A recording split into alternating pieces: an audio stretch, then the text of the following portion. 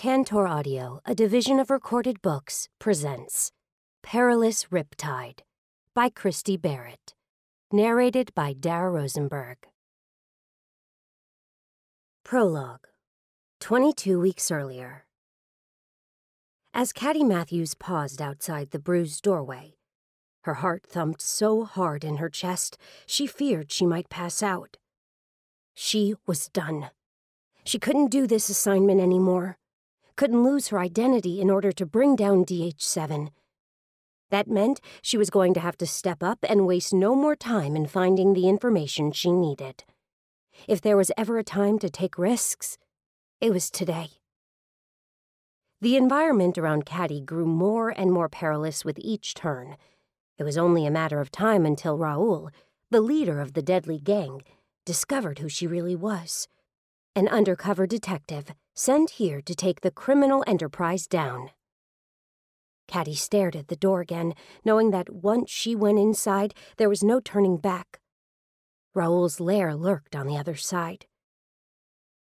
She knew Raoul was gone right now, out doing something that was no doubt self-serving and illegal.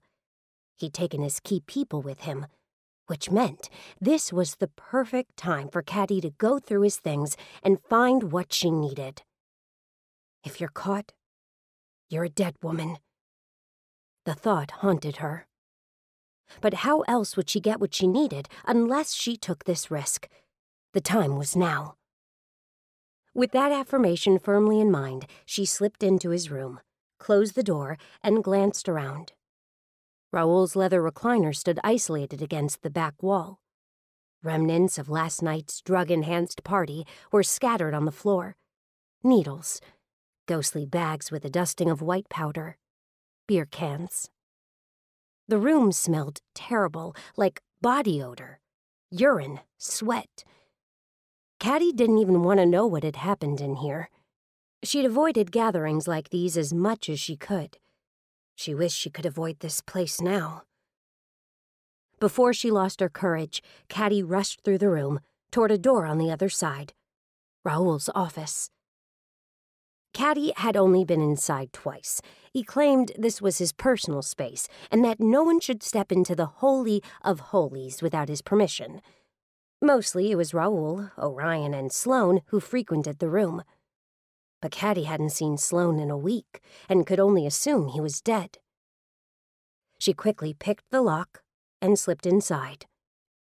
Instantly, the smell of Raoul's expensive cologne hit her nose, making her eyes water. Her gaze adjusted to the dimness of the space. Glossy black walls, surprisingly lush carpet, a heavy mahogany desk.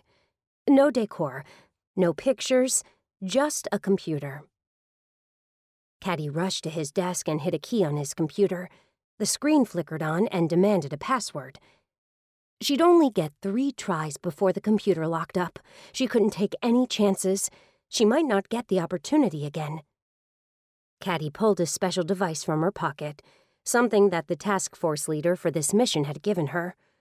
Please work, she whispered. She jammed it into the USB port and watched as a box popped up on the screen, indicating it functioned properly. This little device should help her to break the passcode and get into Raoul's computer. Sweat spread across her forehead as she waited, her heart pounding in her ears. If Raoul were to catch her, he'd kill her, which he'd certainly do. It wouldn't be a fast death. No. It would be full of pain and suffering. Caddy had known that fact from the start when she'd taken this assignment. This was what she'd signed up for, what she'd agreed to. But it all seemed like a bad idea now. She tapped her finger against the thick wood of his desk as she waited. Why was this taking so long? Caddy didn't have time. At any minute, one of Raoul's henchmen could wander past here. The sweat on her brow thickened. Caddy might be an undercover cop, but that didn't stop the fear from invading her. Her body was reacting to what could be the fight for life, a God given instinct meant to keep people alive. Her dad always said only fools deny their fear. Wise men acknowledge they're scared and push forward. She didn't take much advice from her dad, but that was a good nugget to remember. She needed to be wise, and she needed to finish this. The little digital ball continued to spin on the screen as the program tried to work. As she waited, Caddy pulled open a drawer. Nothing. Nothing? Did that mean Raoul kept everything on his computer? She just didn't see him as the type to go totally digital. But he hadn't grown this criminal organization by being a dummy. He might look tough and street smart on the outside, but inside, that street gang clothed body was a highly intelligent man. He had more business sense than Caddy would have ever guessed. That made him even scarier. Finally, the ball stopped spinning. The computer's home screen flashed into view. Caddy released her breath as temporary relief flushed through her. Quickly, she replaced the high tech device with an actual jump drive. She needed to access Raoul's files and copy them. The information would be illegally obtained. It wouldn't hold up in a court of law. But these files, mixed with Caddy's testimony, would be enough to give the police the evidence they needed to put key members of DH7 behind bars. With DH7 off the streets, the world would be a safer and better place. And, in her own way, Caddy would know she'd been a part of it. Just as she inserted the jump drive, a sound in the other room caught her ear. A door opened. Her pulse jumped. She had no time to get out of here. There weren't even any windows to offer an option. That meant she had to hide. She yanked out the jump drive and jammed it in her pocket, turned the screen off, and stood. As she glanced around the room, a startling realization hit her. There was nowhere to hide. As the footsteps got closer, Caddy ducked beneath the desk. If Raoul returned and came to sit here, she'd be a goner. Please don't let that happen, please. As soon as she uttered the silent prayer, a door opened. Someone had entered the room. Chapter 1 Today's Goals Fix Elsa. Learn how to cook shrimp scampi Watch the sunset. Cassidy Livingston leaned against one of the thick wooden posts that held her tiny beach cottage high off the sandy ground. After giving Cujo, an adorably sweet golden retriever with an unfortunate name, a pat on the head, she sighed. She never thought she'd get this much enjoyment from doing nothing. Across from her, her neighbor Ty pulled apart her ice cream truck, Elsa. The bright pink truck with the hand scribbled prices had needed some work for a while, but with the busy summer season, Cassidy hadn't wanted the vehicle to be out of commission for too long. Labor Day weekend had just ended, which meant that tourists here on Lantern Beach would trickle back to their homes and their jobs and bide their time until they could experience another vacation in paradise. Cassidy's throat went dry as she watched Ty and she took another long sip of her lemonade. Her dad had always been more of an inside person, a filthy rich businessman for that matter. He paid people to do everything for him except get him dressed. But Ty, he was another breed of man. He was handy, he didn't mind sweat or dirt, and he looked good throughout it all. Really good. Right now, his white t shirt clung to his defined muscles. A sheen of moisture covered his skin, screaming of hard work. His eyes looked determined and focused. The former Navy SEAL was inarguably the man of Cassidy's dreams. She took another long sip of her icy lemonade. Can you hand me that adjustable wrench?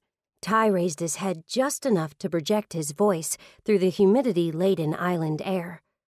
Like a dutiful helper, Cassidy found what he was looking for in his well used tool chest and brought it to him. As you wish. He breathed out a laugh and glanced at her. You sound so compliant. I am. Her voice lilted teasingly. Of course you are. He chuckled again, not hiding his obvious doubt. They both knew that Cassidy was stubborn and headstrong. As a detective in Seattle, She'd had to be both of those things at times. Then again, her life as Caddy Matthews seemed so far away. Cassidy kind of liked the new person she'd become. The laid back, let her hair down, enjoy each moment kind of person. Maybe it was who she'd always been but had never acknowledged. Cassidy leaned into the truck, inspecting Ty's work even more closely. He'd removed the dash in an effort to figure out why the vehicle spontaneously began to play music, and usually at the worst times. Cassidy had been woken up many nights by digitized tunes like My Bonnie Lies Over the Ocean and Pop Goes the Weasel. The last song definitely made her want to pop something. Well, what do we have here? Ty reached into the depths of the dash and emerged with some kind of notebook. He stared at the leather cover a moment before handing it to Cassidy.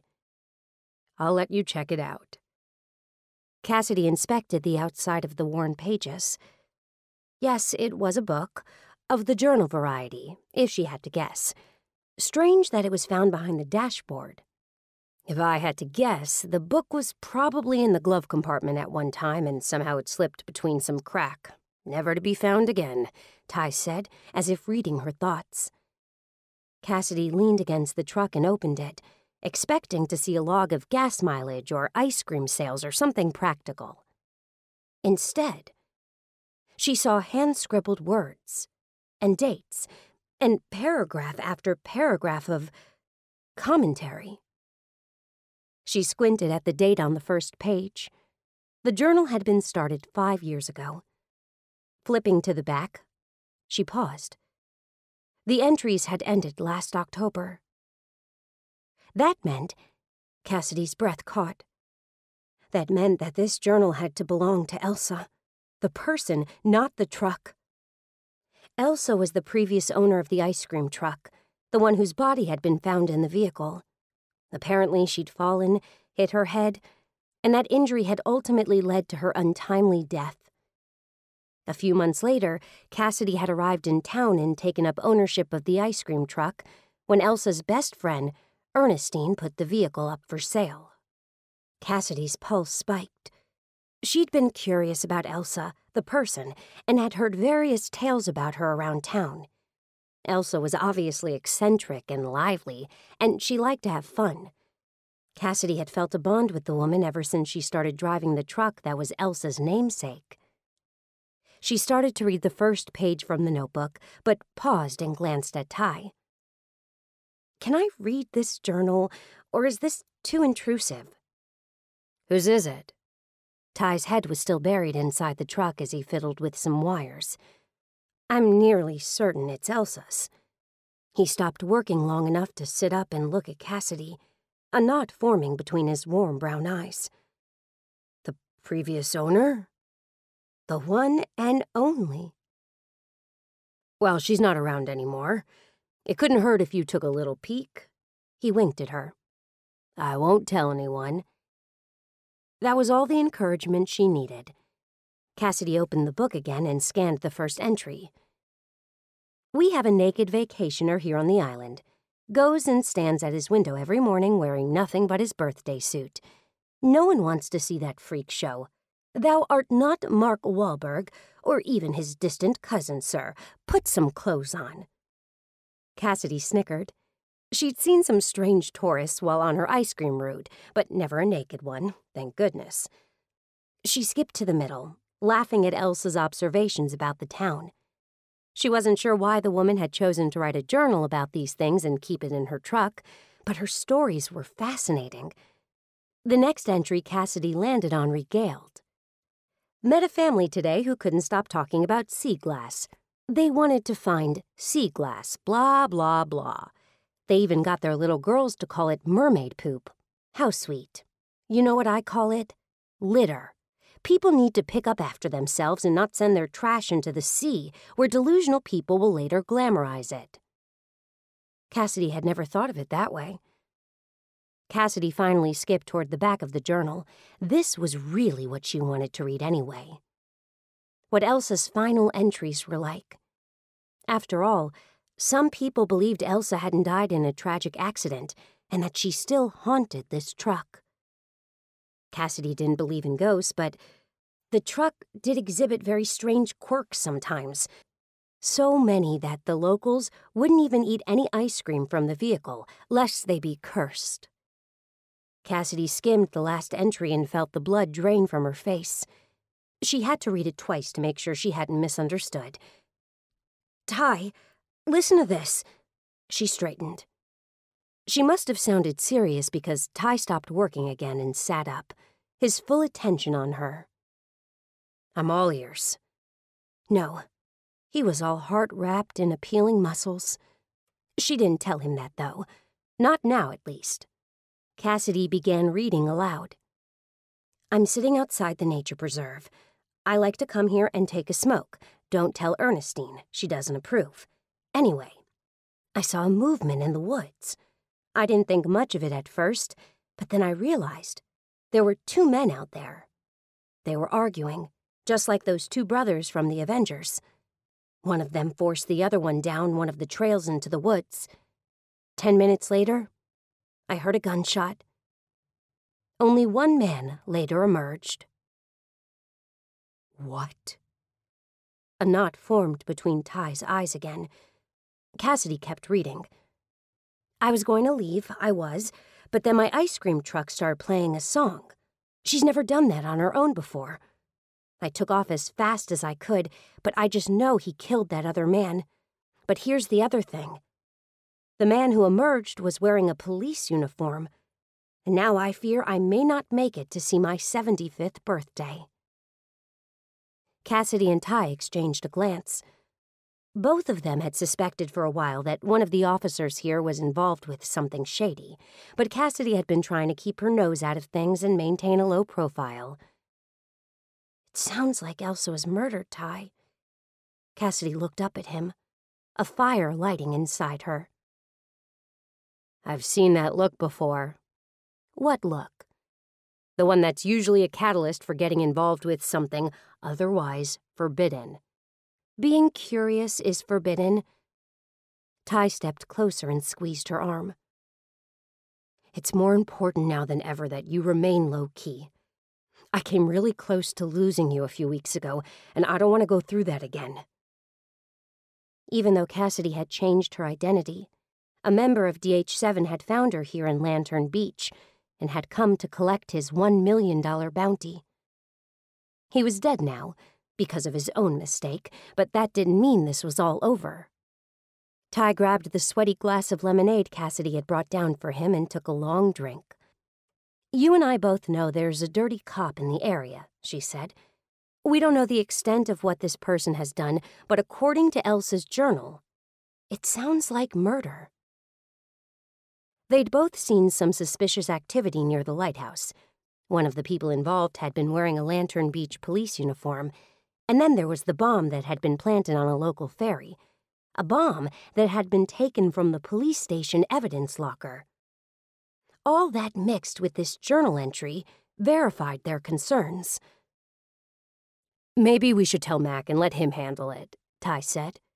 As the town's former police chief, he has a better knack for law enforcement than any of the actual law enforcement here on the island.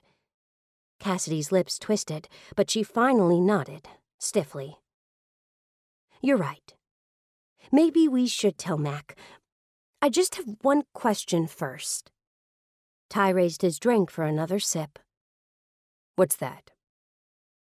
Where's this preserve Elsa mentioned? Chapter 2 Cassidy glanced at the dense forest around her as she shoved another tree branch out of the way. Why haven't I ever been here? Cassidy asked. I mean, I've passed it a million times before, but never stopped. The entrance to the preserve had been unmarked, a gravel road through marsh grass. Cassidy always assumed fishermen and kiteboarders used this area. It was truly a hidden gem on the island, though. The waters of the Pamlico Sound stretched around them, lined by an expanse of sandy shores and weathered live oaks with exposed roots. On each side of the beach were marsh grasses, and bookcasing the whole scene was a maritime forest. When she and Ty had pulled in, A family they'd seen had set up a colorful beach umbrella and cheerful folding chairs. Kids splashed in the water, a unicorn shaped inner tube floating nearby. A woman walked a hyper terrier who curiously sniffed everything in sight. A lot of people obviously knew about and enjoyed this area. It's a local secret spot. Ty kept his gaze focused on the woods around them. Waters are safer here soundside than they are in the ocean. Safer definitely had its appeal, especially for families with young kids. It's been a bad season for Lantern Beach with all the storms brewing offshore. And now we've got hurricane season on us, and every day it seems like there's a new rip current warning oceanside. Lifeguards had 10 rescues last week. Sounds scary.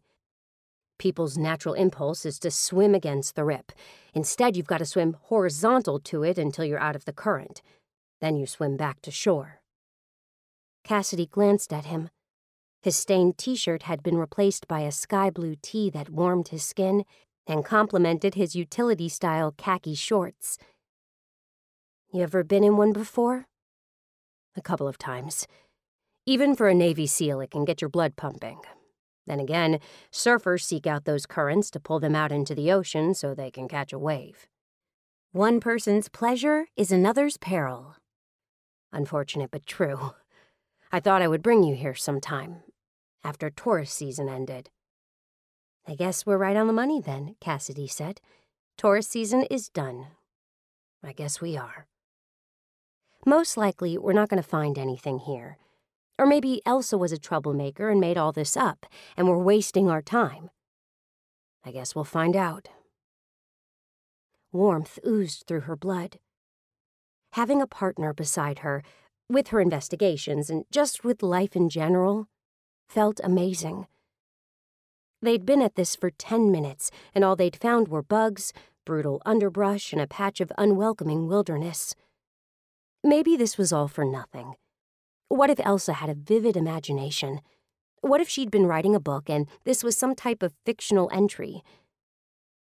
Cassidy had to acknowledge the possibility that this was a wild goose chase. Yet something about reading Elsa's words got her blood racing. As much as she tried to suppress her investigative instincts, they were still waiting dormant inside her. All it took was the slightest whisper to stir them. She'd use wisdom. If she and Ty did find something, Cassidy would step back. She had her boundaries. Her life depended on them. She knew Ty didn't want her to get involved in another possible crime in the area. He'd made that clear. But how could she not at least see if there was any meat to Elsa's story? Cassidy and that ice cream truck had become unwittingly connected since Cassidy had arrived on Lantern Beach, and she felt like it was her duty to find answers. She glanced at the canopy of trees above them. Besides, if there had been a body here, birds of prey and other wildlife could very well have decimated any remaining evidence, or someone else could have easily found it. Yet there hadn't been any reported murders. Things like that were big news on a small island like this. In fact, they'd gone 30 years with no murders until Cassidy arrived on the shores. So even though Cassidy wasn't here when all of this supposedly happened, certainly she would have heard about it. A discovery like that would have been the talk of the town, or a missing tourist would have at least been reported. I think we should venture off the trail, if a cop hit a body out here, he'd be smart enough to conceal it far from the walking path. Ty slapped his neck as another mosquito pestered him. Cassidy followed Ty, tromping through the thick, thorny underbrush. She was glad they'd decided to leave Cujo at home. Cassidy could only imagine the barbs and ticks his fur would have picked up. Ty suddenly stopped and nodded in front of him. Cassidy drew in a deep breath when she saw a snake sunbathing on a fallen tree, claiming its spot in a small patch of light that crept through the trees. A cottonmouth, Ty said. Cassidy swallowed hard as she stared at the creature. It's huge. We're going to have to go around. Snakes, ticks, mosquitoes, biting flies. This was just one big, bad idea, wasn't it?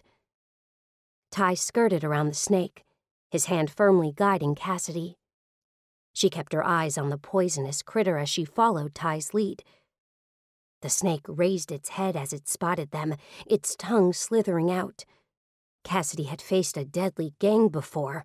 She couldn't let a snake freak her out.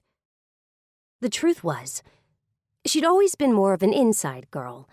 She hadn't exactly grown up going camping or hiking or exploring nature. No, she'd attended galas and political functions and etiquette lessons. They continued deeper into the forest, looking for something that may not be there. After an hour of searching, Cassidy finally paused. This was all for nothing, wasn't it? She waited for Ty to agree, willing to admit this had been a bad idea, as well as a waste of time. Instead, Ty slipped his arms around her waist and tugged her closer. Time with you is never a waste.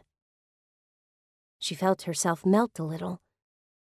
Ty had a way of doing that, over and over, again and again, and it never got old. He lightly brushed his lips against hers before murmuring, But if we're done looking, we should get out of these tick infested woods before we get Lyme disease. I love it when you sweet talk me like that. I try. They exchanged a smile. They'd been dating two months. For the past month, Ty had known Cassidy's secret. He finally knew the truth about who she really was and what she was doing here in Lantern Beach, North Carolina. It had felt so good to get it off her chest, to stop hiding things from him. But Cassidy knew that information could also make him a target, and she couldn't stand that thought. For that reason, she was always on guard, always watching always waiting for the other shoe to drop. Trying to act normal with a million dollar bounty on her head felt nearly impossible. If the wrong people found her again, she shuddered to think what might happen. Ty took her hand, and they started back through the maritime jungle toward the trail. If a body was out here, it was apparently going to take more than the two of them looking for it. There was too much underbrush that needed to be moved. Too many snakes, too much nature. Maybe this killer had known that, had known this would be a perfect dumping ground. Or maybe nothing had happened here at all. As Cassidy stepped high, trying to avoid a tumble of weeds, her foot caught on something. She stumbled forward, but Ty caught her. Whoa, he muttered. Easy, girl. She started to give a retort to the horse reference, which she knew was unintentional. But when she looked back, her words faltered. A hand had tripped her. A skeletal hand sticking out from the dirt. Chapter 3 Ty stared at the bony remains tangled in the thick underbrush. At one time, that hand had belonged to a living, breathing person. Now, all that remained was a skeleton. Beneath the vines and leaves and shrubby bushes, he could make out scattered pieces a rib cage, skull, and humerus that had been at the mercy of wildlife and nature for the past several months. Could these remains be the person Elsa wrote about in her journal? The situation seemed too surreal. It swept his mind back to the days in the Middle East. Each moment there was marked with so much death and tragedy. Ty had moved here to get away from it all, to find peace and to help others who had been in his shoes. Yet Lantern Beach, in its underbelly, was turbulent. In spite of that, all that turbulence had led him to Cassidy, and he wouldn't change that for anything. Cassidy squatted on the ground and used a stick to move some vines aside so she could study the bones. She looked every bit the professional she'd once been. The laid back beach girl was gone. In her place was the cool and composed metropolitan detective. If I had to guess, that's a gunshot wound right here through his rib cage, Cassidy said. They would have hit his heart. Poor guy didn't stand a chance at being found out here. No one wants to tromp through this mess. Except you. We can't call the police. Cassidy glanced up with a look of concern on her face. What if one of them did this? We can't not call the police. The situation was precarious. They'd both known that before coming into it. Then again, had either of them really expected to find a body? Listen, let's call Mac and get him in on this, and let's take some pictures so we can have them as evidence. If there is a member of the Lantern Beach PD behind this, we need to have as many people involved as possible so it's hard to cover anything up. Cassidy stood and nodded. I like the way you think. I'll call Mac. I'll take pictures. Ty pulled out his phone and began snapping some surface photos. It was hard to see much because of the underbrush, but at least he'd have some sort of evidence. Using his foot, he carefully moved some of the thorny vines out of the way and exposed more of the skeleton. He definitely guessed this person to be a man, based on the size of the bones. A few rags still clung to the body, but most of the tissue and hair were gone. Something glimmering beneath the body caught Ty's eye. Was that a bag? He pulled a gum wrapper from his pocket and used it to carefully pick up the object. Yes, it was definitely a baggie, a Ziploc. Something was inside. Business cards, it appeared. What is it? Cassidy put her phone back into her pocket and knelt beside him. As his gaze focused on the card on the top of the pile, his heart stammered a beat. That's my name, Cassidy. Why is your name on a paper out here beside the man? I have no idea. Ty squinted. The paper looked like it had been torn off something else, some kind of white cardstock. A menu, maybe. Was this man a veteran? Had Ty talked to him about Hope House? Ty had given out his name a few times because of that, so he supposed that could be the case here. It was the only thing that made sense. The scrawl wasn't Ty's handwriting, however. More than anything, Ty wanted to dig inside the bag and find out more information. He wanted to move the body and see what was beneath it, but he knew he couldn't do that he'd mess up the crime scene. Potentially ruin evidence that could point to what happened and who had done this. It wasn't a risk he could take. But he didn't like how this looked. Mac MacArthur, the town's former police chief, showed up 15 minutes later with his friend, Clemson. Mac was in his 60s, with a spry build that didn't quite match his white hair, beard, and mustache. He'd also become one of Cassidy's favorite people since she'd arrived in town, almost a father figure. Doc Clemson was Mac's best friend, and he doubled as both medical examiner and town doctor. He had yellow orange hair and deep wrinkles that reminded Cassidy at times of a Shar-Pei, a very lovable Shar-Pei. It seemed a shame that everyone was here except the actual police. But since Cassidy and Ty didn't know who was involved, they needed to play it safe. Cassidy didn't like the fact that Ty's name had been found near this man. Why would someone put business cards in a Ziploc bag? Had someone wanted to set up Ty? Because without the bag, the paper would have most likely disintegrated in the storms and humidity in the area. The unease in Cassidy's gut grew by the moment. Mac stared at the remains.